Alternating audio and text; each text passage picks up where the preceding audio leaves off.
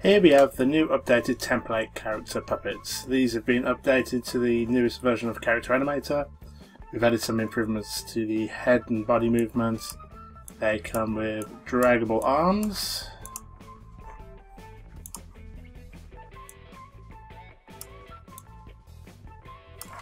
And they have a point and a wave hand gesture. They also have eye blinks, eyebrow movement, and automated lip sync. They are also customizable, so if we go into the Photoshop file, we can see that we can go into the body folder. And if we double click on the layer that says double click here to edit clothing, we can change the logo. So, something else, test. We save that. Will update and we save this one.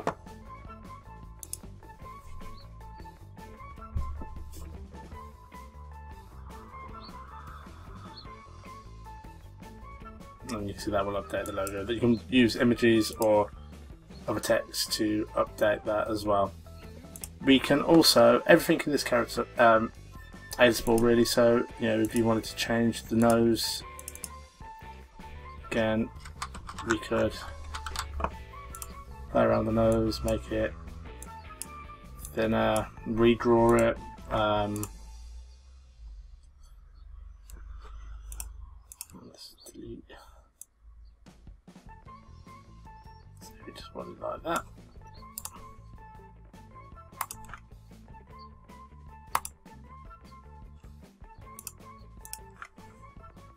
And then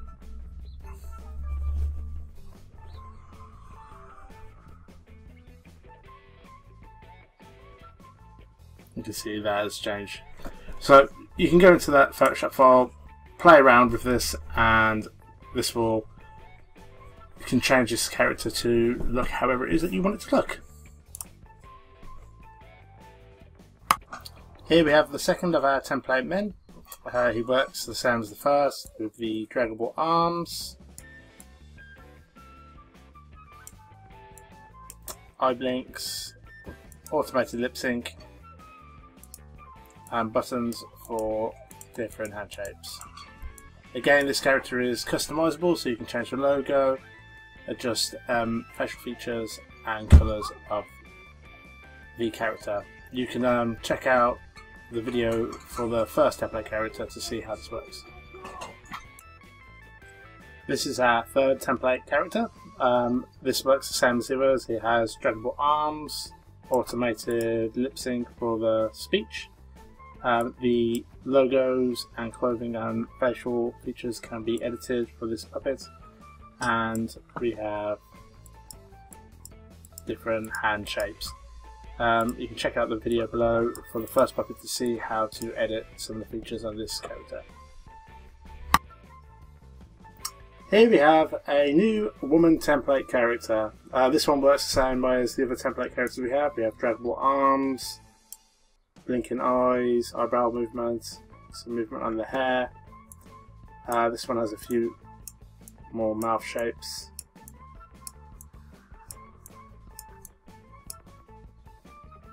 And um, if you see the other video attached for the template man, you can see how to edit some of the elements in the character.